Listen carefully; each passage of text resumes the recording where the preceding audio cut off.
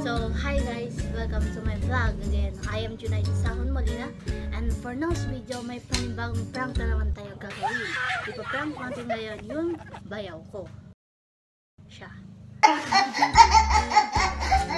Kapag bibili siya ng cook, ilalagay ko guys, toyo sa loob nito. Tapos lalagay ko siya sa freezer. Samahan niyo ko, huwag kayong aalis guys. Samahan niyo ko ngayon. So, let's go! So, ayan guys, habang wala pa sila. So, ayan guys, habang wala pa sila, nandun sila ngayon sa lamitan, sa mamalengke. Lalagay ko na yung prank ko dito.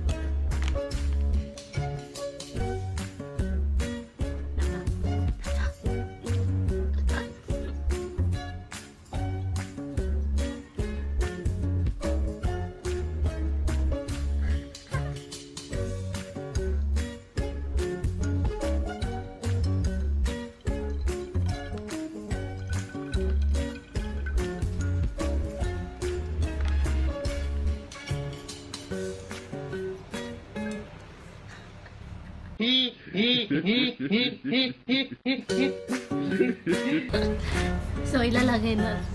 So, tingnan nyo guys. Ito po yung forma niya. So, lalagyan lang natin to ng.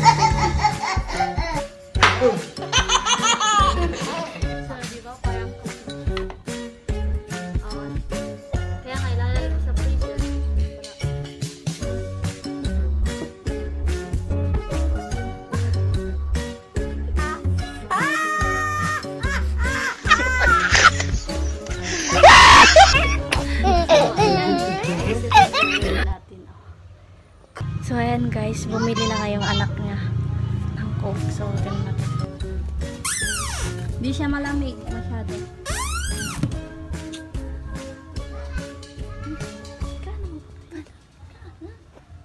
Ah. Ayan na nga. So, ayan na nga guys. Binibili sa akin. Tawag dito.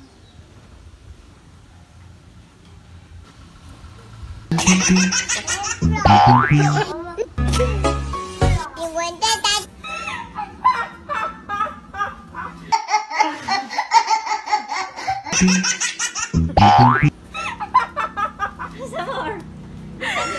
lang ako.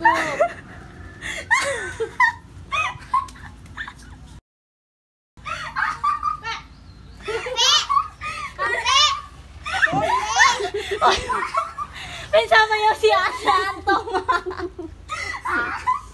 Pensaba si Alan Toma.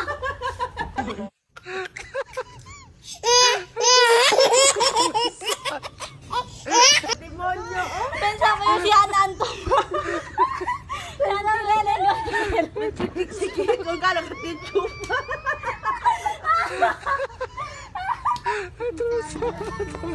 Ano toyo? Toyo.